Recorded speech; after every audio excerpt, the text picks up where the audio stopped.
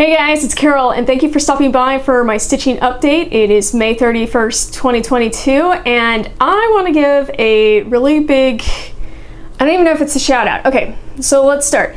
James the PH Stitcher so kindly shouted me out on his last video and I had no idea until someone left a comment, which I still need to reply to. It was a holiday weekend, that's that's my excuse. But like I said, I just thought that was amazing. So if you're a new viewer because you come here courtesy of James, thank you so much. And it occurs to me like, first of all, so if you haven't checked out his channel, go check it out because he really has some beautiful mirabilias that he's been working on. And also his Bella Filipinas. I have not actually stitched any of that designers, but I really find like the Instagram awesome. So also, because I figure if someone did me a shout out, I'm gonna pass it along. Um, two of my current favorite floss tubers, Backcountry Stitcher and the Seattle Stitcher. Both of them work on the sort of things that I love to see. So if you're interested in like what I'm working on, check out what they're doing because it's, I'm not gonna say it's the exact same, it's not, but it's really cool and I hope you enjoyed as much as I have. Okay, so now I have five WIPs for this week, a little bit of talk about plans, and then I'm gonna go over my June goals because I have learned that I need to actually set some goals to make something happen. And after spending all of May kind of drilling down into data points on how much I stitch on a routine basis and what kind of projects I like to work on for how long, I think I have a way of setting up a June that'll actually work out for me. So, start off, I'm gonna go straight into the WIPs. Piece number one this week is the Prairie Schoolers, a Prairie Garden, and I used this as my travel stitching for this week.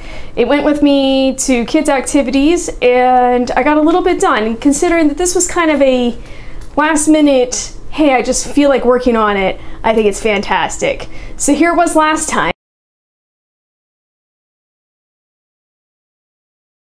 And this is what we have for today. As you can see, I have started in the lower right hand corner, so this is the furthest motif over. Um, this is, as far as this pattern is coming over towards the edge, everything from here is straight on up. I think these are pansies, not really certain. No, no, it's the great purple color that's seen up here in the thistle, and I am just really excited to pick this one back up. It worked out really well for when I took it out for travel stitching, because the, most of the green is the same color, it was just nice to start working in the box here. And I'm thinking that this one might be become my next focus piece. We'll come back to that when we deal with June goals. As I've indicated in previous videos, I've decided to go back and forth between the Modern Folk Embroidery Stitch Along from 2020 and the one from 2021. So this time frame covered 2020, which is a family patchwork sampler. And I'm kind of excited. I'm not going to tell you that I'm hugely far into it, but I did, this one's actually January. I wasn't working in January. I was working in May. Very exciting, which I mean, given that it's the last day of May, uh, well, can't win them all, but I'm happy that I got down there. So here's where I was last time. And this is where it is today. As you can see, I have indeed continued further down. Um, the page break is about here, um, roughly. I mean, I don't remember quite off the top of my head. All I know is that I got to put the January page down and pick up the May page. And of course, when I did that, like, see how this is all light and airy, and this is like super dense. So of course, I would immediately run into um, kind of not really the hardest stitching on here. It's not, none of it's particularly difficult, but it was a little more time consuming. So whereas I had been like booking right along, coming down, and then I hit this and it was like, thud, stop. That's okay. Um, I am really loving the look of this piece. Um, the 924 that I'm, the DMC 924 that I'm using, I love how much it stands out on the white Vertil. It's, so I spend a lot of time worrying about whether or not I do a good job picking colors because I don't personally feel like I have much talent for it. So when I have something that I'm just like, oh, this is working for me, like this is, I'm just so excited. But yeah, this will come back out and you'll see it in two videos from now. My primary whimsy piece of the week, and in this case, I, whimsy is anything that is a non-mirabilia, because those are on a, rot pretty strict rotation. These are the ones that I just say, hey, what do I feel like picking up and playing with this week? And it was Rosewood Manor's Dreaming of Tulips. I don't know why I haven't gotten further in this project before now because now when I pick it up, I don't want to put it down. The colors, there's only six, but they are all so amazing and I just, every, every time I pick this up, it's like, it really is saying, please keep going, keep going.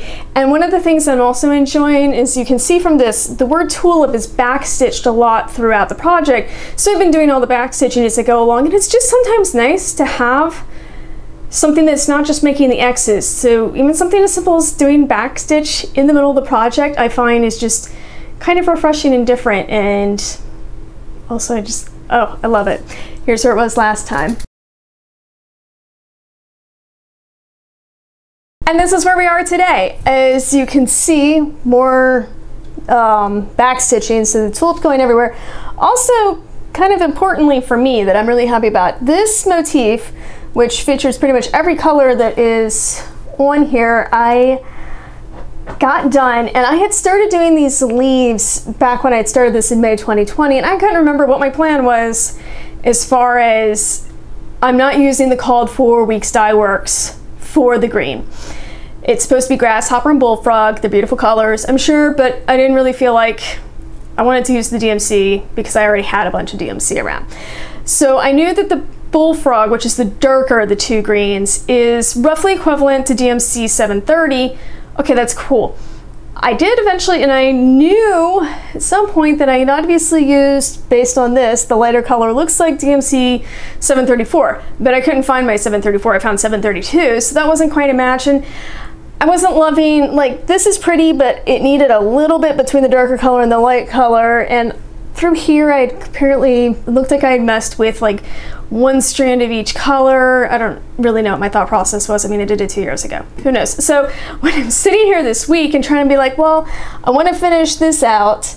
So what I ended up doing is I've actually pulled up, so 732, 734, both are now being used for the grasshopper. Kind of just however I feel like I like that it's lighter. It's noticeably lighter, but adding in the 732 I think really helps that it's not quite as much contrast. And if I find a spot where I'm like, eh, you know, this could benefit from a slightly darker color, okay, then I might do the one strand of like the 730 plus one strand of 732 again. I don't know, I'll figure it out, but just I really like how this has all come together. And so one giant motif win, this is the smaller motif that I did first. And so I think my general, I'm gonna continue up towards this corner since the actual center of the piece is like right here, roughly. Um, and for whatever reason, I clearly decided to do the upper right hand quadrant. Again, I don't, I don't know what I was thinking. Don't know, but I did uh, take the time and go ahead and put this in my, created my nice little graph with all the grid squares. And as I get each set of 100 done, filling it in, but it means I actually have an idea of how far along I am on this. So for my WIPs going forward, I'm going to make a point of telling you what percentage complete I am. And for this one, this is 18% done. So, I guess surprising to me, I'm like, wait, I only have to do this four more times and the whole thing's done? This doesn't seem like a lot, not really. So I'm like, this one's just it's fun. Like i said when i sit here and work on it a lot of it seems like it seems to happen pretty quickly. It's not going to be my focus piece yet because obviously i'm much farther along with the prairie garden but i can see this one getting done before the end of summer. So haven't don't have it it's not all the way onto a plan yet but it is definitely like as far as like me picking it up and giving it attention i definitely know it'll be back getting worked on in the next couple weeks so my rotation mirabilia for this week is Royal Holiday.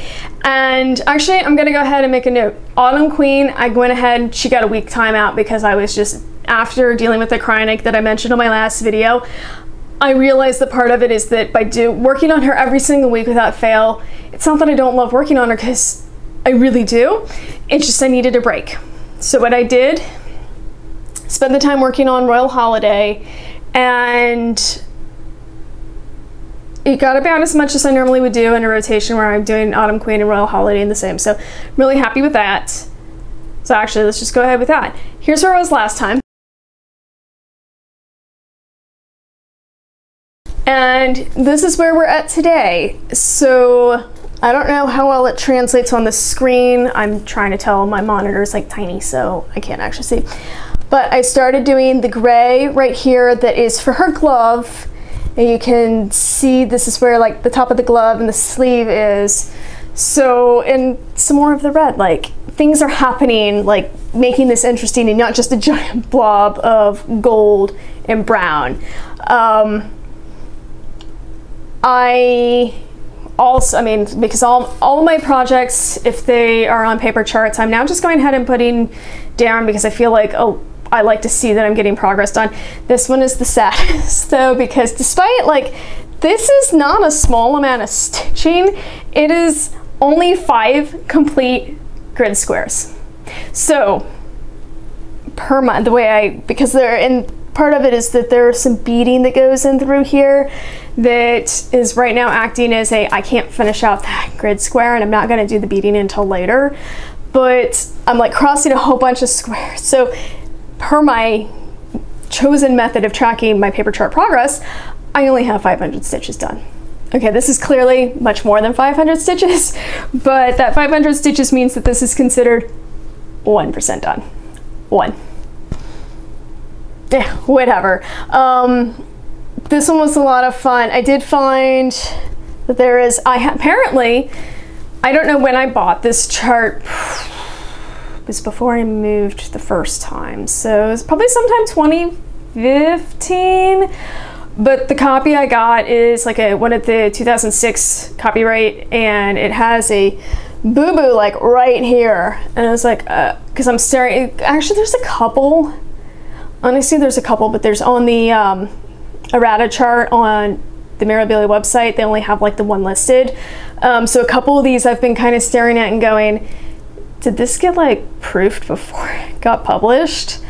Uh, I mean, they're easy enough fixes because it's like really obvious. Like when there's this one that's not done right here.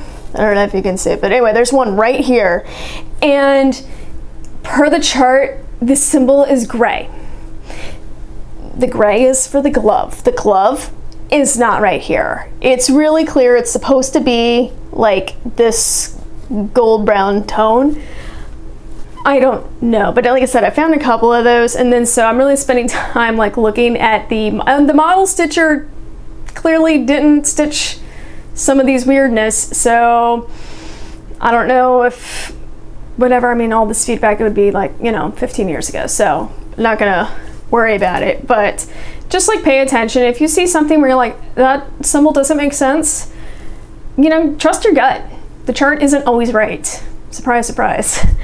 And anyway, but yeah, this one has been a lot of fun. I really, really loving the um, the red tones through here, particularly because they have that. I'm trying to think of how to describe it. I'm like not pulling the my color words very well here. Um, it is a very blue toned red. So you can see like this color right here, which I believe is 777. It, um, it pulls very purple. And so it's it just, I love the contrast with the warm tones of her dress. It is so cool. And I have, I mean, uh, this is pretty much most of her bodice up to the uh, cape is going to be right here. So I'm just, I'm looking forward to my plan is I'm going, going for her head and then I'm going to fill it down. So hopefully next time this one comes out, I can get a few more grids, squares filled in so that it doesn't have to be stuck in 1% progress. So my second Mirabilia for the week is the Stargazer. And I believe I mentioned last week that I felt like I just didn't get enough time working on this one last time so that I wanted to come back this week and fill her in. And actually, so that's what I ended up doing instead of Autumn Queen altogether is I was just having so much fun with this. And I, love this pattern. I mean, I feel like I say this about like all my patterns because I I like all of my projects. But there are some that you just love and this is this one is love. Definitely. So, here's where she is last time. And this is where we're at today. I basically have kept filling in more down here and as the uh, roughly right here actually this part of the ribbon right here marks the halfway point on the chart where you flip from one side of the page to the other.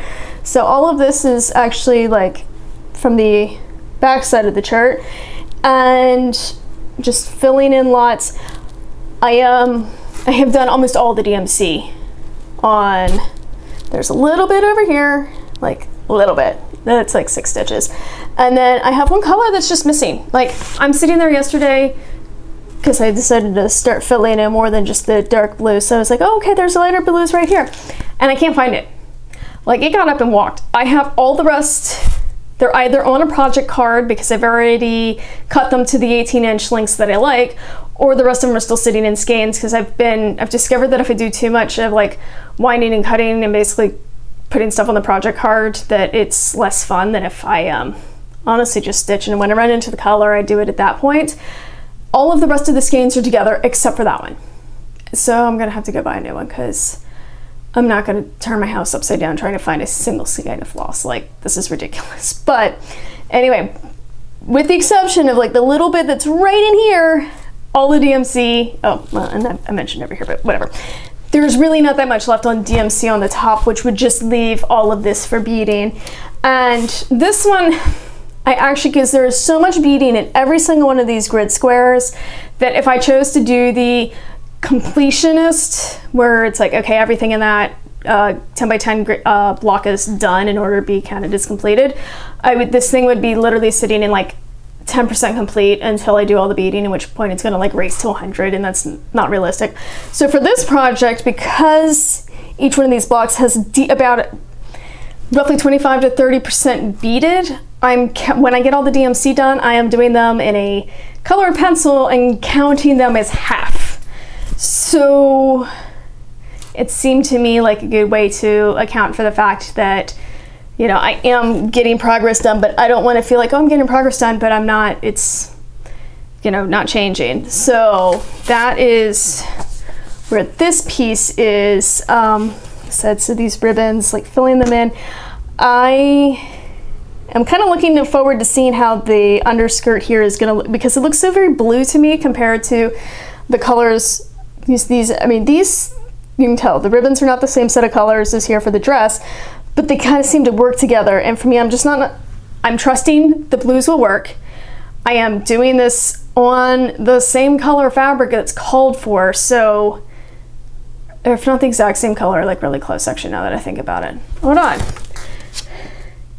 It is called for on amber or toasted almond.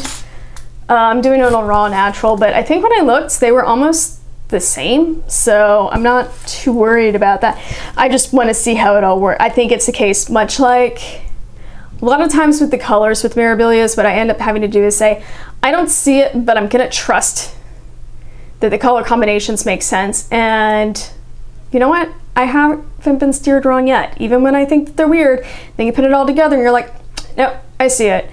Um, so that's, like I said, I'll try. I think this is gonna look awesome though once I get more filled in down here, but I love this project. I love it so much. I actually feel bad that I'm gonna put her back on the rotation. Not gonna see her again for three weeks, but what a blast stitching on it. Oh, and just so that I am clear and have shared it, the Stargazer is roughly 11% complete. Okay, I iron my projects before I show you the weekly progress.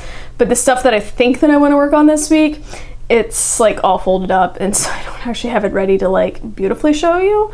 Um, so I'm gonna see if I can do like an insert of what I'm gonna work on this week here. Plans for this week. I'm going back to my normal rotation for my Mirabilias, which means that Autumn Queen will be coming back out, but I'm also adding in Lady of the Mist, which of all my new Mirabilia starts this year has received the least attention. I am going to also be working in the Fruit of Plenty. I'm going to just focus on doing the January page. I debated what I wanted to do for my Whimsy pieces this week, and then I realized that for me, I had started working on the corner motif for a prairie garden, so I'm going to go ahead and finish that. I'm also going to bring back out Ave Maria. It's a easy to work on piece and if I get a little bit of work in it I'll be happy but it's not going to be a primary focus this week. This week I'm really kind of feeling a new start.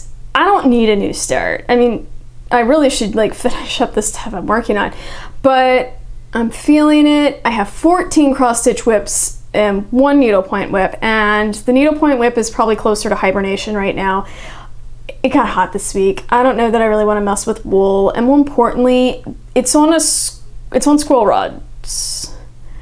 They're not good ones. Like they're the cheap ones.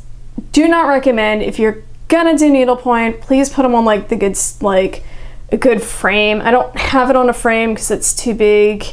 I guess at the time I thought, okay, I'll try this whole scroll thing they're it's the split rods. They do not hold tension whatsoever. And no. So i honestly need to get like a new set of bars for that and like start over. And i just don't want to. So i really only have 14 WIPs right now and it means i want another one. And what, more importantly i'm kind of feeling like opening a kit. So why do i bring this up to you? I'm going to show you my two choices and then i need your help. Because I, left to my own devices, will dither about it and then do nothing. So, gonna show them to you now.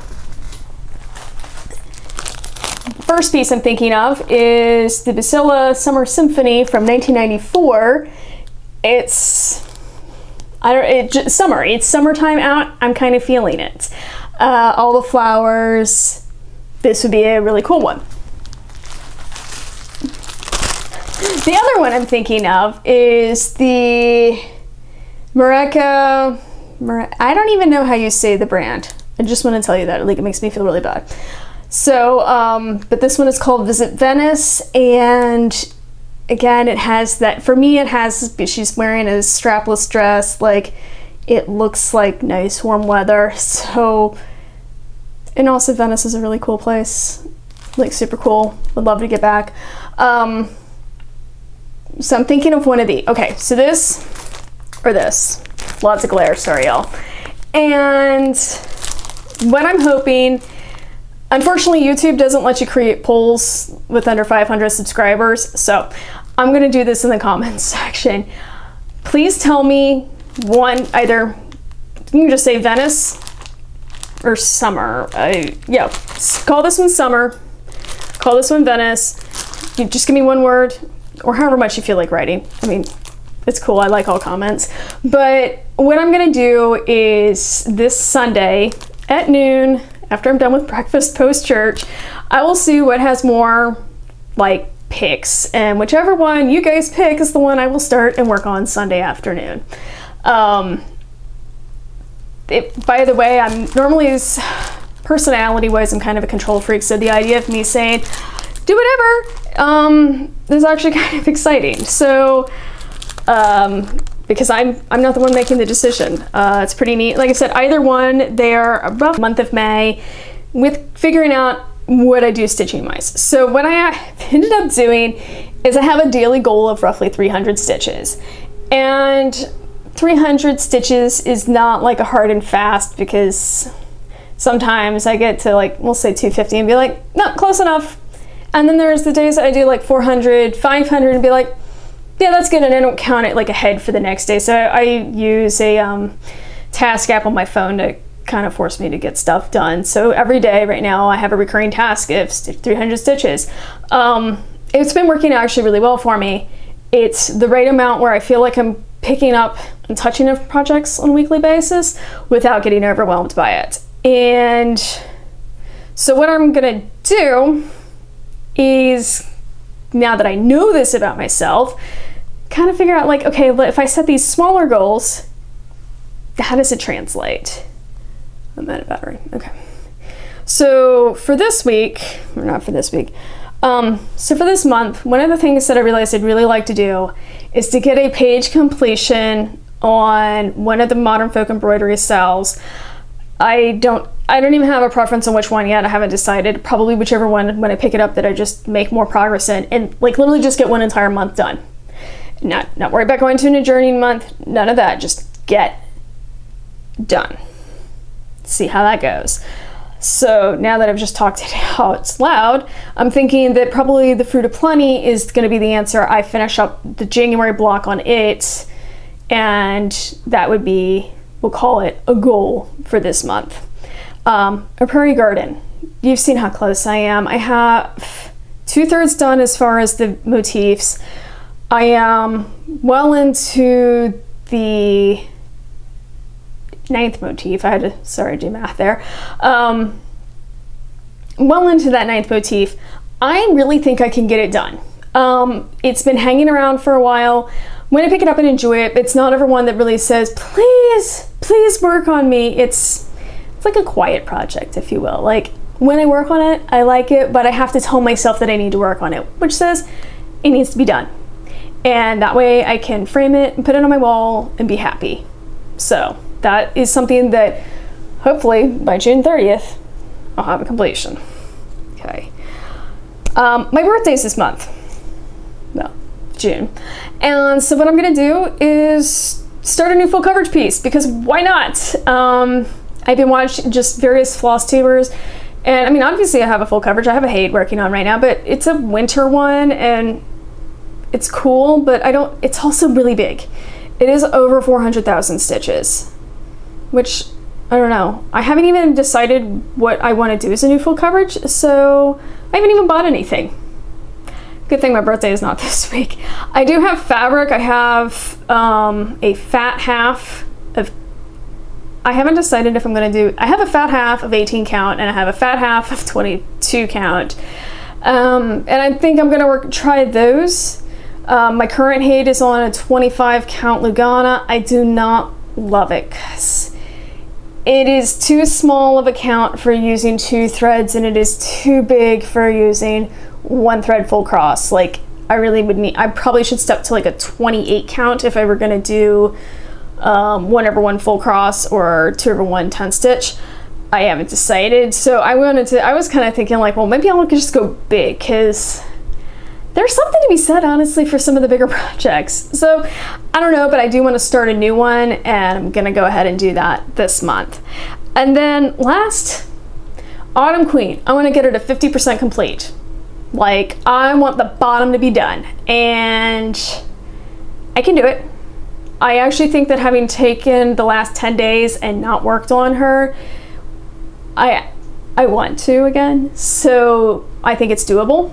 I think all of these are doable. Basically, it's one good thing to kind of work on each week is something to like emphasize, but it still leaves me room to do the stitching that I've been doing along the way. So hopefully you found that of interest. Um, I hope that you have a great week and I will see you next time. Bye!